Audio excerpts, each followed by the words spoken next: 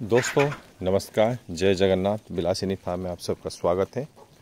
दोस्तों, आज के वीडियो में मैं दिखाता हूँ कि मेरे फार्म में मैंने तो आम का पेड़ guava, banana, apple, grapes, moringa और लेमन, सारे के सारे खेती मैंने किए हैं।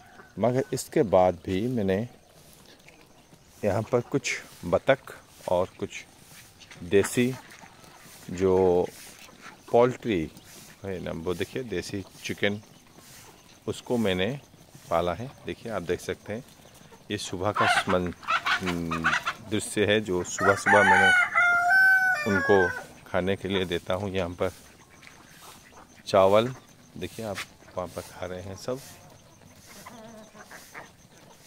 और यहाँ पर कुछ दाना भी देता हूँ उनको सुबह।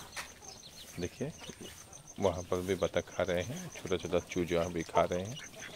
यहाँ देखिए। दोस्तों, आज का वीडियो बनाने का ये मकसद है कि आप जब फार्म करते हैं तो जो फार्म जो होता है तो पेड़ जो आप लगाते हैं, उसका तो बेनिफिट आपको चार साल, पाँच साल लग जाएगा पाने के लिए। मगर आप उसमें जो खर्चा करना पड़ेगा आपको फर्टिलाइजर्स का स्प्रे हो या कोई फर्टिलाइज़र देना हो या घास पतवार को मारने के लिए हो या कोई आदमी को बुलाकर फर्टिलाइज़र देना पड़ता हो, ये सारे खर्च इससे ही आप चला सकते हैं। ये आप रखें और उसको पालें और छः महीना और सात महीना में उसको बेच दें।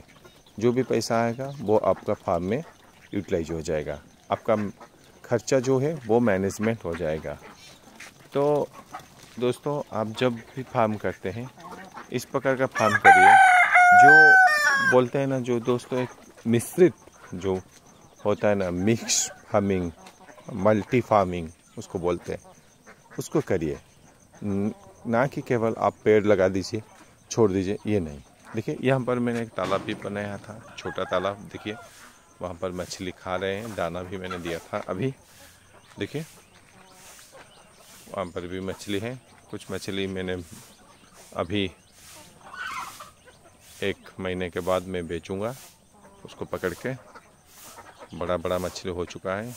और कुछ देखिए, पपैया का प्लांट भी मैंने लगाया था। सारे के सारे पपैया में बहुत सारे फल आ चुका है और उसको भी बेचना होगा। दोस्तों, इस प्रकार से हम अपने फार्म को मैनेज कर सकते हैं। तो दोस्तों, ये था आज का वीडियो। तो आज का वीडियो कैसा लगा, ज़रूर कमेंट करिए, लाइक करिए मेरे चैनल को, सब्सक्राइब करिए। तो दोस्तों, रखता हूँ आज का वीडियो। यदि अच्छा है तो लाइक करिए दोस्तों। जय जगन्नाथ